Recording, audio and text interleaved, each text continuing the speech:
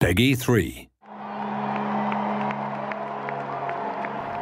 One of the biggest changes in Football Manager 2013 is the overhaul of the multiplayer network game.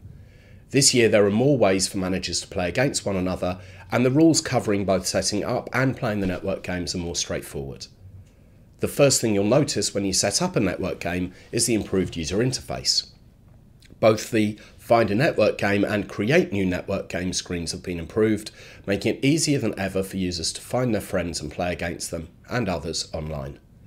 This is all powered by Steam and the servers that are used to having hundreds of thousands of players playing games online at the same time. The introduction of Versus mode means that, for the first time, you can play against friends in your own tailor made competition.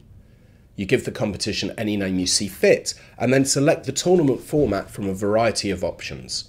You could have a straightforward knockout cup with up to 32 players all managing against each other, a league for between 2 and 6 people, with each team playing each other twice, or a head to head league competition with two users playing each other, say, 5 times.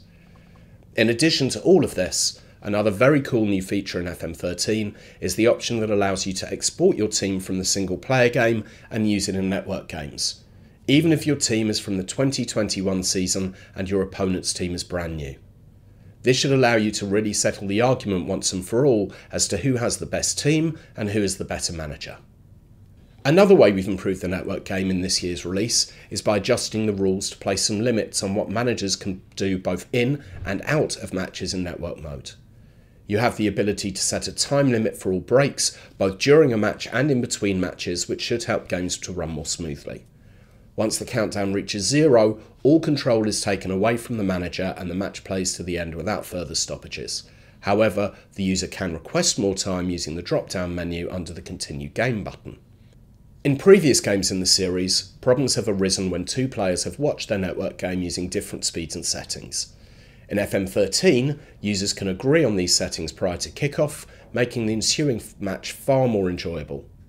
These improvements to the network game will ensure that FM13's multiplayer experience will be the best that we've ever presented to you as someone who plays our games.